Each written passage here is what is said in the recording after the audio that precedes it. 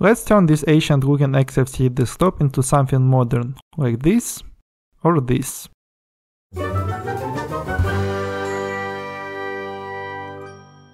Hello everyone. I don't know why, but XFCE default theme and icon set look very ugly. Maybe it looked nice a decade ago, but today, in 2017, it needs to be updated. So let's install some themes and turn it into something more eye candy.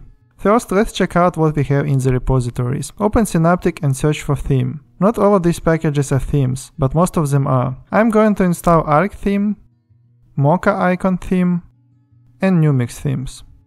Here we also need to install LightDM Settings Manager to configure the theme of the login display. Next, let's go to the website xfce-look.org and find some artwork there. There are many interesting solutions here. Let's have a look at themes. I usually check out the greatest and some trending themes out here. For this video I'm gonna try Axiom theme. You can install themes from the XFCE Look website using this instruction, but I prefer the manual way. I will download the archive using this link and then extract it in my theme folders. I have already preselected some icon themes here. It's La Capitaine icons, some kind of OS 10 mimicking icon set. There are several versions, I will download the latest. The next one is Flat Remix, let's download it too. And the latest is Paper Icons. Here we need to go to their website and download it. They provide some repositories, so if you're for example on Ubuntu, you can simply add a repository and install it. I run Debian now, so I will download the Debian packages.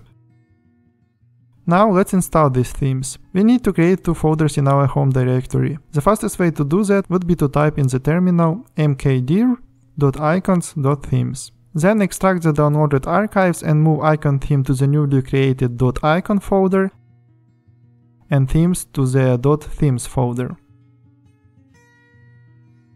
Paper themes are in the deb packages, so we need to install them using dpkg. From the terminal run sudo dpkg-i paper star.deb. It will install both the icon and desktop themes. When all the installations are complete, go to the settings and select what you like. Here are our new themes. You need to play a little to select what theme and icons match the best. Let's select Arc Dark theme.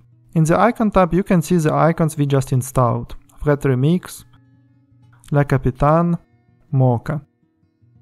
I like paper icons the most, so let's select it.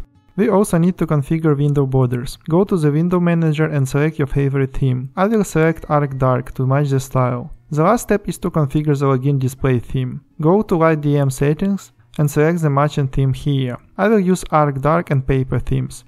You can also change the wallpapers and avatar icon. Let's select Debian icon for the avatar. Log out. And here's our new looking login manager and the XFCE desktop. For the demonstration purposes, here are some other combinations of desktop theme and icon sets. Numix desktop and icon theme, Paper desktop and icon theme, combination of Arc Light theme and La Capitaine icons, combination of Greybird theme, Moka icons and Axiom window decoration. And again, Arc Dark theme, but this time with Flat Remix icons. Finally, any theme can look even better with a matching wallpaper. I believe there is no need to show how to change a wallpaper. Please let me know your favorite theme in the comment section and don't forget to subscribe. Thanks for watching.